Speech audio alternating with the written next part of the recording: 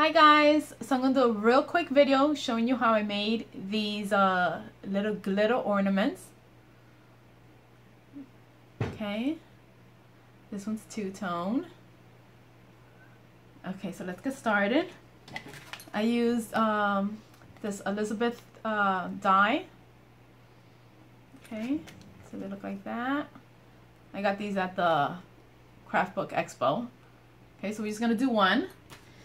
Um, this is, you're going to need double-sided tape.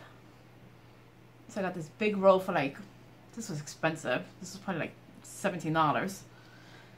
Uh, so what I did, um, you want to use the strip of tape and put it on cardstock. So these are the ones I already have made. Okay. Very fine glitter. The glitter of your, you know, whatever color you want. Very fine.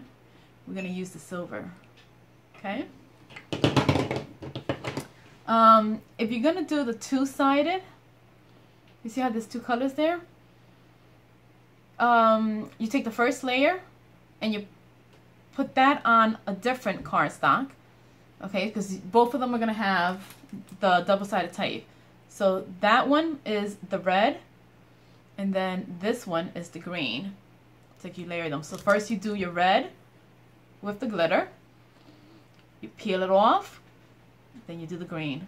I'll show you real quick. Okay, so let's get started. This is my little, these are the, the little pieces for the top piece. Aren't they cute? Okay, all right, let's get started. All right, so I already put this piece through my machine. That's the cardstock. And this is the other side, which the tape. So what you want to do is peel off the tape. Okay. So you're peeling off the tape. You see how it's sticky? And take the glitter of your choice. Let's do silver. Just pour it all on top. Just be very generous. All on top. Tap, tap, tap.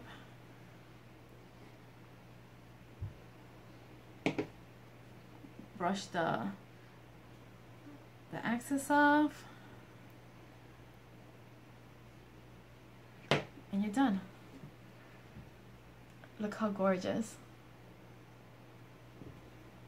and the glitter does not come off you see some in my hand because I was working um, with glitter already but does not come off it actually when you feel it it feels like felt okay so if you wanted to do the other side let's pretend that this one, I had a different color. Remember, this is double-sided tape. You do your glitter. This one, you peel it off and you put it on top and you get that effect. Okay? So that's if you're doing two layers. But I'm not doing this one two layers. I'm keeping it like this because I'm going to put it behind a different color uh, cardstock. But just, just to give you an idea. And that's it. So these are your little ornaments with glitter. Very easy. And all you gotta use double-sided tape and glitter. Bye!